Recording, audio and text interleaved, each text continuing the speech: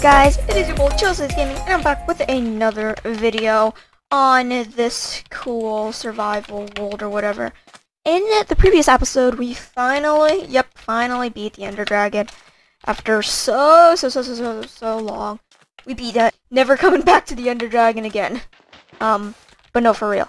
It was nice, um, but in order to 100% complete Minecraft, we have to respawn the Ender Dragon meaning that that'll come back another time. But for now, I want to start work on the Guardian farm. Uh, I did a lot of off-camera work, and honestly, it's all really boring that you guys probably don't want to see. Uh, but basically, I cleared out the entire Guardian farm, all of the ocean and everything, and I added soul sand at the bottom. But I also found out that this is also basically a mob spawner. Yeah. Um, and that that's a slime. So we're also in a slime chunk. But aside from that, I do want to um I do want to fill this up with water and make it non-mob and make it mob-proof and make it so that only guardians are coming out and not just mobs.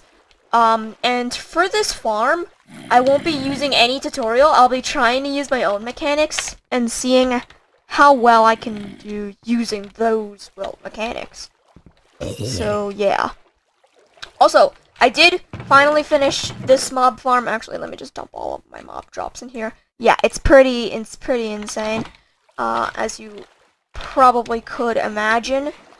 Um, but I did finish it. Um, once again, it's just boring stuff, though. Um, I just, you know, didn't do it on camera. Does that make sense? I'm pretty sure that makes sense. Um, aside from that, um, yeah, right. Today's episode, Guardian Farm, going to get that done. Uh, unless I can't. Um, I don't know how much time I have to record this episode, but I will check in. That's a creeper. Let's not go near the creeper. Because I don't want to explode my property. And let's sleep.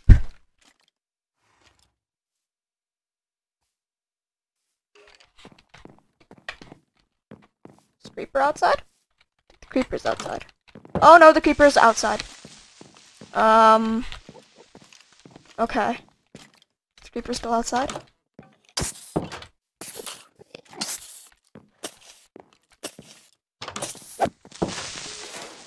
Okay, it, it, it died before it exploded.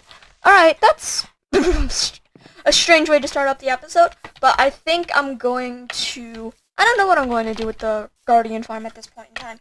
I also really have to, like, light up my area to make sure that, like, zero, zero mobs spawn, since mobs are the most annoying thing ever, and it's just a pain when they spawn. So, yeah, I'll make sure that no mobs spawn whatsoever. Um, and aside from that, I will start...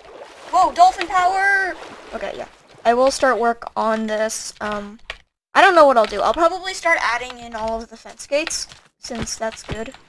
And we should always do that. Fence gates are my life savior. Fence gates. Okay. So, I just tested this, this thing out for the first time, and it is very fast. Like, so fast it's like, oh my gosh, it's like the fastest thing ever.